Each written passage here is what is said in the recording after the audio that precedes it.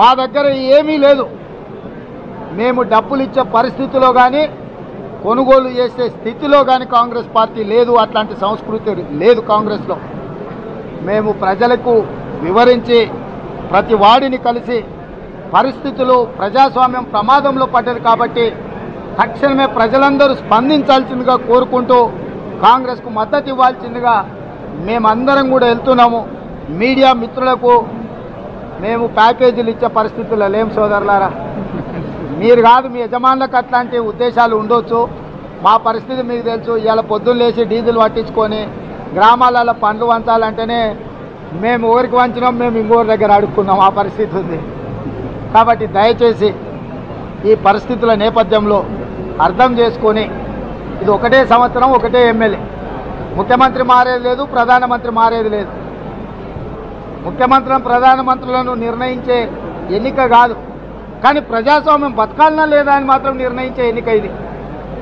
ప్రజలు ప్రజాస్వామ్యం వైపు ఉన్నారా లేదా అని సమాజం అంతా చూస్తున్న సందర్భంలో జరుగుతున్న ఎన్నిక.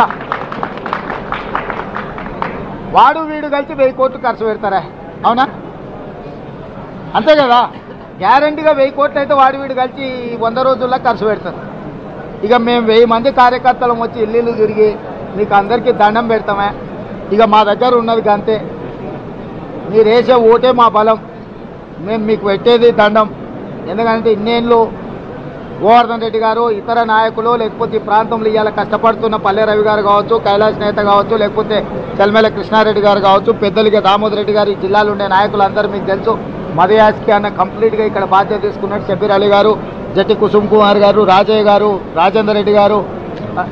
సవంతి అదేవిధంగా అనిల్ రెడ్డి మిగతా వాళ్ళందరూ కూడా మా అజ్మత్ మా మిత్రుడు ఇంకా వెనకాల చాలామంది ఉన్నారు వాళ్ళ పేర్లు చెప్పలేదని అనుకోకండి ఇంకా వంద రోజులు ఉంది కదా రోజు కొంతమంది పేర్లు చెప్తా.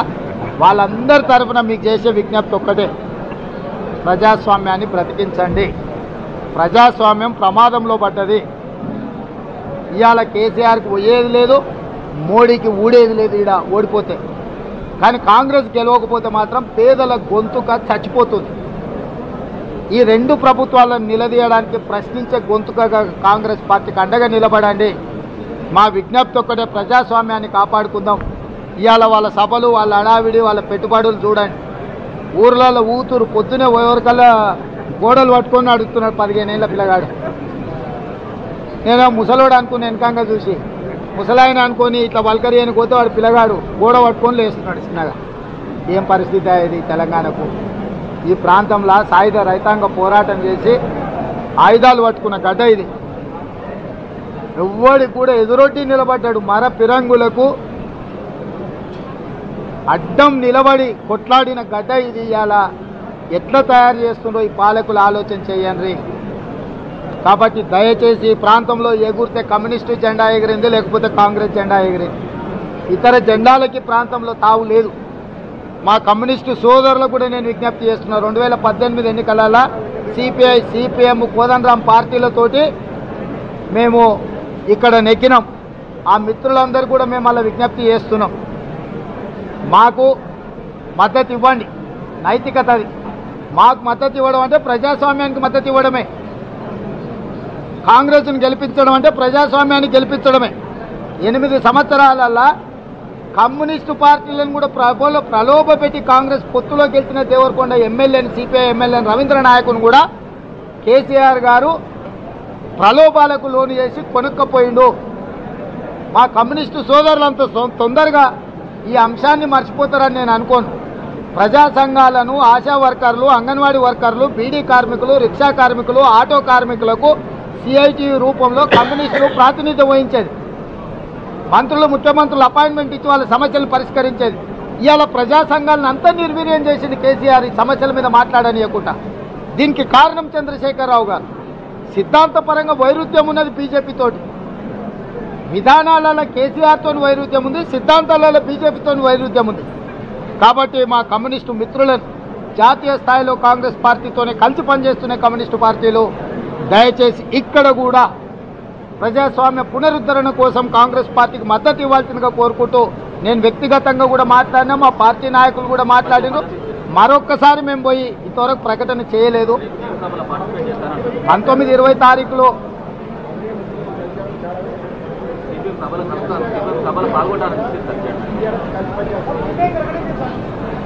అంటే ఇంకా అప్పుడు ఇంకా నాయకులకు కాకుండా ఇక్కడ ఉన్న కమ్యూనిస్టు శ్రేణులకు విజ్ఞప్తి చేస్తున్నాం. ఆత్మ ప్రబోధానుసారము మీరు ప్రజాస్వామ్యాన్ని కాపాడండి. ఎందుకంటే నిన్నటి వరకు మాతో కలిసి ఉన్నారు. ఇప్పుడు కలవలేదు కాబట్టి వాళ్ళ మీద పరుష పదజాలం వాడతామని మీరు ఎవరైనా ఊహిస్తారో అట్లాంటిది ఏం లేదు. మునుగోడు నియోజకవర్గంలో ఉన్న సిపిఐ సిపిఎం కోదండరామ్ గారి పార్టీ సంబంధించిన మరి ముఖ్యంగా సిపిఐ సిపిఎం కార్యకర్తలకు ఇక్కడున్న పరిస్థితులను దృష్టిలో పెట్టుకొని నాయకత్వం ఏం ఆదేశాలు ఇచ్చినా ఆత్మ ప్రబోధానుసారము ఇక్కడ ప్రజాస్వామ్యాన్ని బ్రతికించాల్సిందిగా కమ్యూనిస్టు సోదరులకు విజ్ఞప్తి చేస్తున్నా. డెఫినెట్గా వారు స్టార్ క్యాంపెయినరు. వారికి పార్టీలో ముఖ్యమైన నాయకుడు. తప్పకుండా వారు పాల్గొంటారు.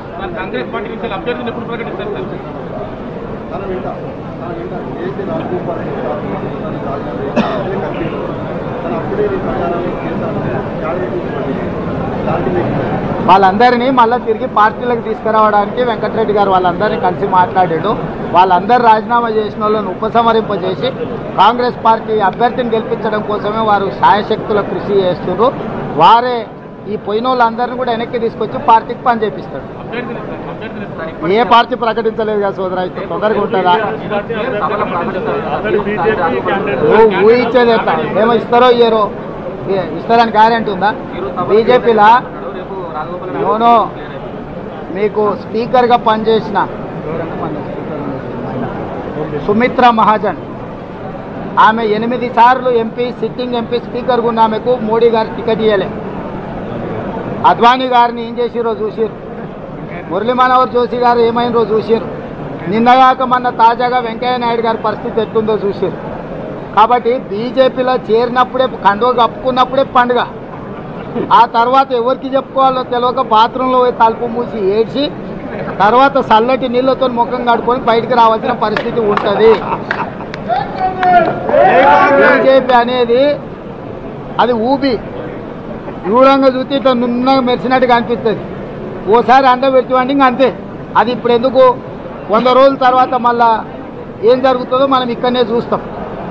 నేను అనేది ఒకటే పార్టీకి రాజీనామా చేసిన నాయకుడికి రెండు వేల తొమ్మిది నుంచి రెండు వేల ఇరవై ఒకటి వరకు కాంగ్రెస్ పార్టీ ఏం చేసిందో మీరు ఒకసారి చూడండి. ఆ నాయకుడు రెండు వేల తొమ్మిది నుంచి రెండు వేల ఇరవై ఒకటి వరకు కాంగ్రెస్కి ఏం చేసిండో చూడండి. ఒక అంచనా వేసుకోండి. నేనేం విమర్శించదలుచుకోలేదు మీకు వాస్తవాలను గుర్తు చేస్తున్నాను కాంగ్రెస్ వారికి ఉపయోగపడ్డదా? వారు కాంగ్రెస్కు ఉపయోగపడ్డారా? ఈరోజు రాజీనామా అభివృద్ధి కోసం అనుకుంటే కాంగ్రెస్లో మేమేమన్నా టికెట్ ఇవ్వమన్నామా వారికే టికెట్ ఇస్తామని ప్రకటించినాం. ఇప్పుడు కూడా చెప్తున్నాం ఉప ఎన్నికలలో వారినే పోటీ చేయమని బీఫామ్ ఇస్తాం. ఇప్పుడు కూడా వారికి బీఫామ్ ఏం తిరస్కరించలే కాంగ్రెస్ పార్టీ. వారు మళ్ళీ వెనక్కి కాంగ్రెస్ పార్టీతో పోటీ చేయొచ్చు. రాజీనామా చేయడం అనేది మునుగోడు నియోజకవర్గ అభివృద్ధి కోసమైన ఒకవేళ మీరు చెప్పేది నిజమైతే ఇన్నాళ్ళు మీకు అండగా నిలబడ్డ పార్టీ నుంచే మళ్ళీసారి పోటీ చేయండి. మేమందరం ఇక్కడి నుంచే నిన్నే గెలిపిస్తామని ఇక్కడి నుంచి ఇక్కడనే మేమందరం దామనతో మేమందరం మదన మేమందరం ఇల్లు తిరుగుతాము. మేము పార్టీ తిరస్కరించిందా? మీకు టికెట్ ఏనని వాళ్ళు పార్టీ వాళ్ళ వాళ్ళ నిర్ణయం వాళ్ళు తీసుకుంటారు మాట్లాడతాం తప్పకుండా అందరూ ఎవరు ఎప్ప- ఎట్లా వ్యూహ వ్యూహం ఉంటుంది రాజకీయాలలో ఎత్తుగడ ఉంటుంది. వ్యూహాలు ఎత్తుగడలు అన్నీ మీతోనే చెప్పుకోలేము కదా మిత్రమా? కాంగ్రెస్ ముఖ్య నాయకులందరూ కూడా రేవంత్ రెడ్డి మీదనే టార్గెట్ చేసి మాట్లాడుతున్నారు. రాజు శ్రవణ్ గారి రాఘగోపాల్ రెడ్డి. అనేది ఏముంది? ఇంకా వాళ్ళే చెప్తున్నారు కదా. పోయిన వాళ్ళు చెప్తున్నారు. కదా పోయిన దానికి వెయ్యి రూపాయల నోటుకు విలువ ఉందా? మీ దగ్గర ఉందా వెయ్యి రూపాయల నోటు? దానికి ఏమైనా విలువ ఉందా? రద్దయింది కదా. మరి పోయినోడు చెప్పేదానికి ఏం విలువ ఉంటుంది? ఇక పొయ్యేటప్పుడు ఇప్పుడు అత్త కోడలు ఉందనుకో ఏరు పడాలనుకుంటారు అనుకో ఏమంటారు? అత్త మంచిది కాదు రాసి రంపాన పెడుతుందని కోడలు చెప్తాను అంతేనా? ఇక నువ్వు విడిపోవాలనుకున్నప్పుడు ఏదో ఒకటి కావాలి కదా. కాబట్టి వాళ్ళు మాట్లాడే మాటలకు ఏం వాల్యూ లేదు. వాళ్ళు ఎందుకు నేను అదే చెప్తున్నా.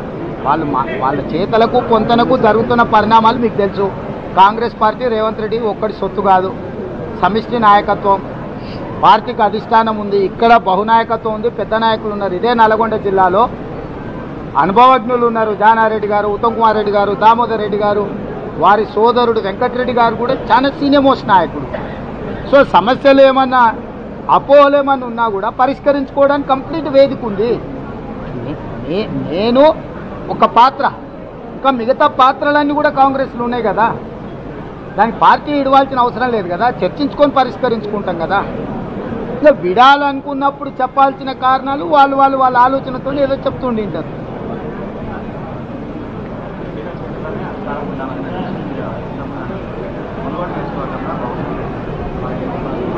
ఖచ్చితంగా వాళ్ళందరినీ కలుపుకొని వాళ్ళ నాయకత్వంలోనే మేము పనిచేసినాం. నువ్వు ఆ కొన తో తో తోకొకటే చూసినావు మూతి చూడలే. అది మొత్తం చదువు. గ్రామాలలోకి వెళ్ళి వ్యవసాయ పొలాలు కొనుక్కొని బీసీలను ఎస్సీలను ఎస్టీలను వాళ్ళందరితో మమేకమయ్యి వాళ్ళకు ఉపాధి కల్పించి వాళ్ళతో కలిసి ఉన్నప్పుడే మన మనుగడ ఉంటుందని చెప్పిన. నీకు అది మాత్రం ఎవరికి కూడా దీని మీద వాదించే వాళ్ళకి అది కనిపించలేదు. ఒక్కసారి ఇది మొత్తం విని అప్పుడు దాన్ని అడిగితే అర్థం ఉంది.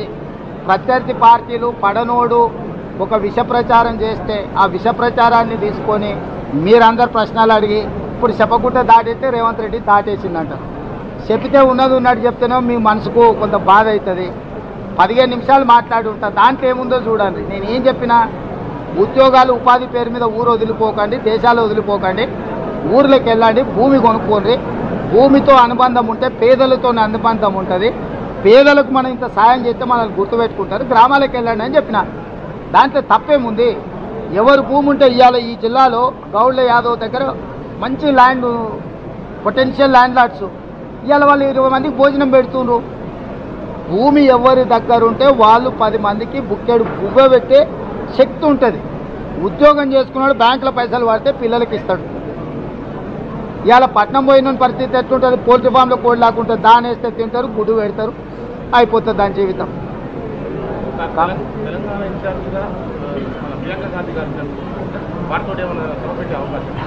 ఇప్పుడు మున్గోడు కాడికి పరిమితం అవుదాం జాతీయ స్థాయి ఎందుకు? అది మళ్ళీ ఎప్పుడైనా మాట్లాడతాం. ముఖం- లేదని ఎవరు అన్నారు? ఇద్దరం కలిసే వస్తాం కదా. ఈ- ఎన్నికలలో ఇద్దరం కలిసే వస్తాం కదా ప్రచారానికి. ఎన్నికలలో ఇద్దరం ఆయన వారు స్టార్ క్యాంపెయినర్.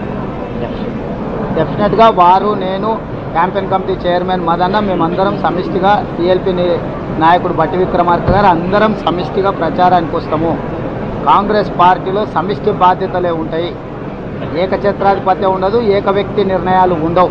సమిష్టి నిర్ణయాలు ఉంటాయి సమిష్టి బాధ్యత ఉంటుంది. అందరం సమిష్టిగా ముందుకెళ్తాము. చిన్న చిన్న అపోహలు ఏమన్నా వచ్చినా ఎప్పటికప్పుడు కూర్చుంటాం మాట్లాడుకుంటాం. పార్టీల పెద్దలు ఉంటారు వాటిని సలహాలు సూచనలు ఇస్తారు. ఆ ప్రాతిపదికన పరిష్కరించుకొని ముందుకెళ్తాం మిత్రులారా. ధన్యవాదాలు. మన మునుగోడు మన కాంగ్రెస్. ప్రజాస్వామ్యానికి పాదాభివందనం. అంతే ఇంకంతే కదా ఏం కావాల్సిందేంది ప్రజాస్వామ్యాన్ని బతికించాలని ప్రజాస్వామిక వాదులకు చెప్తున్నాం.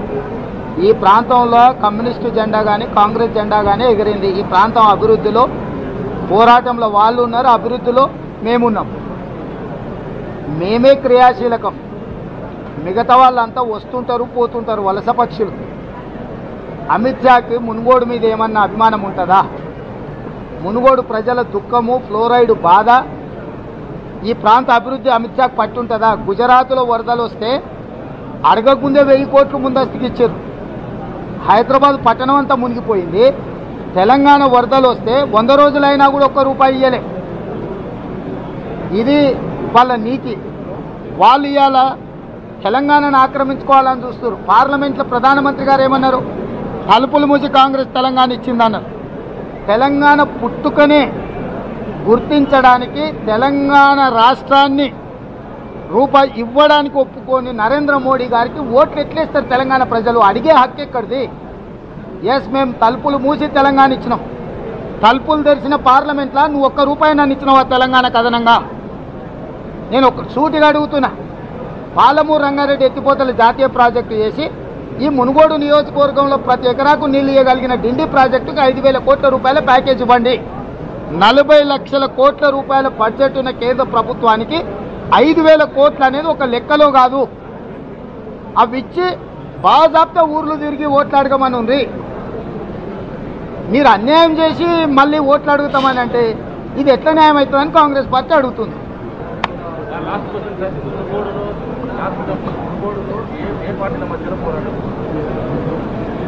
ఏ పార్టీ ఉంటుందా? పోయిన ఎన్నికలలో ఏ పార్టీ మధ్యలో ఉందో ఈ ఎన్నికలలో కూడా ఆ పార్టీల మధ్యలోనే ఉంటుంది. రెండు వేల పద్దెనిమిది ఎన్నికలలో ఏ పార్టీ మధ్యలో ఉంది? రెండు వేల పంతొమ్మిది పార్లమెంట్లో ఏ పార్టీ మధ్యలో పోటీ ఉంది? ఇప్పుడు కూడా కాదు. ఆయనలో మూడో స్థానంలో ఉన్న పార్టీ ఇవాళ కూడా మూడో స్థానంలోనే ఉంటుంది. దానికి అంతకంటే మూడు కంటే దానికి పెరిగేది ఏం లేదు. మీరు దాని గురించి ఏం లేదు. తిక్కలోడు తిరణాలకు పోతే ఎక్కడానికి దిగడానికి సరిపోయిందంట. శివరాత్రి గదే మిగులుతుంది.